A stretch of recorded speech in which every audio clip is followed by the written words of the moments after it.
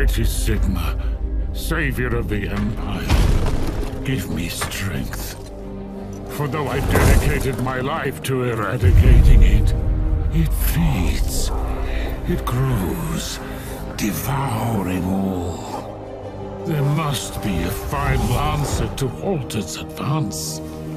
But the tide of war seems endless.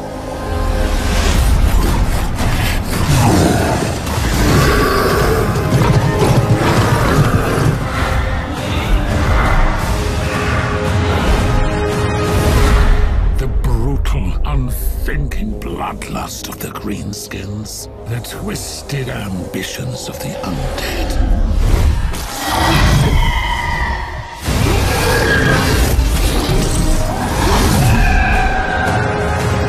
And though the brave dwarven kingdoms stand with us,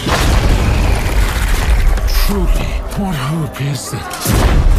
Against countless horrors that cannot be named, let alone fought by mortal means.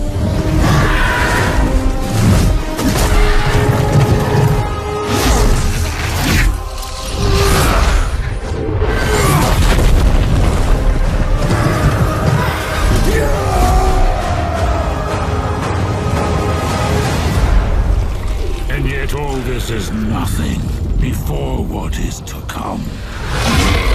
It whispers and roars in.